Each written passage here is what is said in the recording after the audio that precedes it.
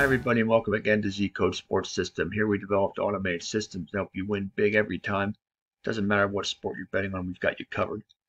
Okay, so before we get into these uh, games, I want to invite you to join so you have access to this section right here, which has all the tools to help you make your picks. Okay, so let's take a look here. We have some NBA action for uh, January 2nd. So let's take a look at four of the games. Uh, Phoenix and New York.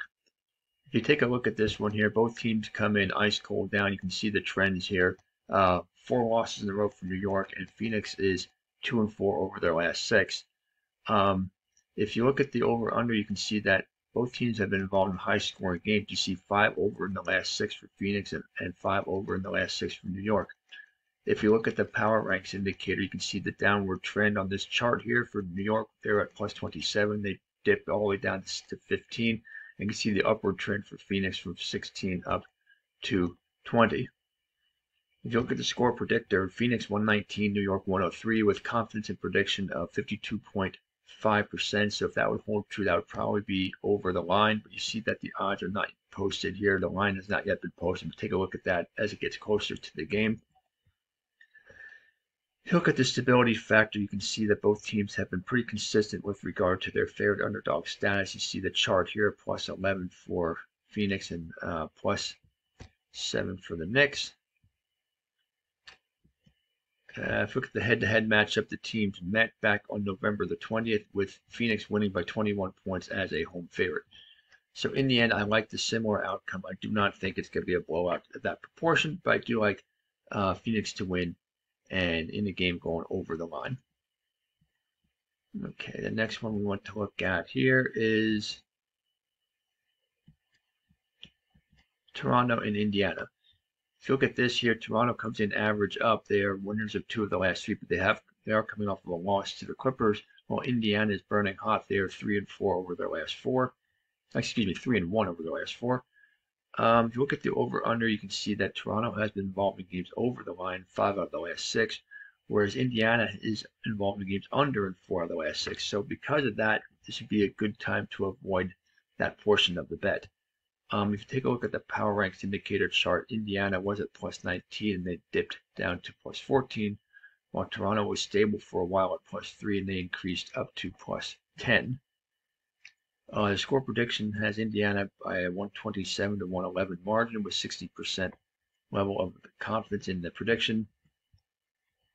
On the volatility oscillator, you see the stability factor. Not as stable lately. Overall, they're still pretty stable, both teams, 6 to 5 uh, for Toronto uh, over uh, Indiana as far as being more stable. But Toronto was up at plus 11 just uh, three weeks ago, so you can see how much they have dipped since then, being very inconsistent. Um, in the head-to-head matchups, uh, see in the first meeting of the season, Indiana won by 14 at home. They were home fair, not by that big of a margin. They weren't favored by that big of a margin, but they won by 14. So in the end, I believe that the Pacers will come up with a win at home, probably by a similar score, but I would pass on the over-under. Next game we want to look at, go down through Denver and Minnesota. Two teams heading in opposite directions. You see Minnesota, the losers of the last four, so they are ice cold down. While Denver won the previous five before losing to Sacramento by a single point, and they are burning hot down. You Look at the score predictor, Minnesota by 115 to 113 with a high level of confidence and prediction of 87% for Minnesota to, to break their losing streak.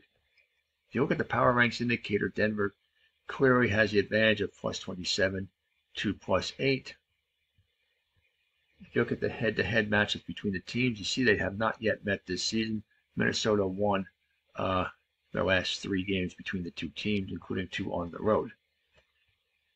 If you look at the volatility oscillators, you can see that Denver is at plus 10, Minnesota plus 8. So both teams are fairly consistent with regard to their favored underdog status.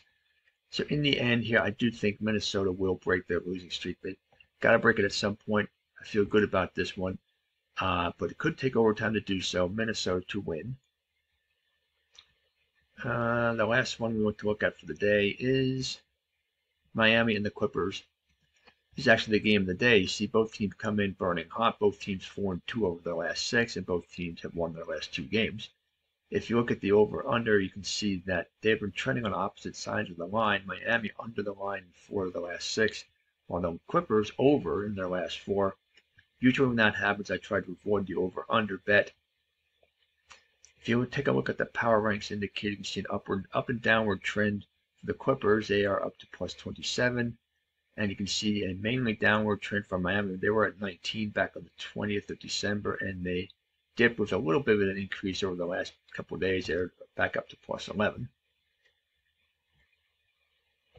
If you look at the stability factor, these two teams are among the most stable in the league. You see near plus 15 for the Clippers, plus 10 for Miami. Both are consistently performing with regard to their favored underdog status. So how do I feel this is going to play out? Well, in the end, I think this is going to be a Clippers team that will even the score. Go with the Clippers by a few points, uh, but avoid the over-under bet in this one. So there you have it. Happy betting, happy new year, and see you next time.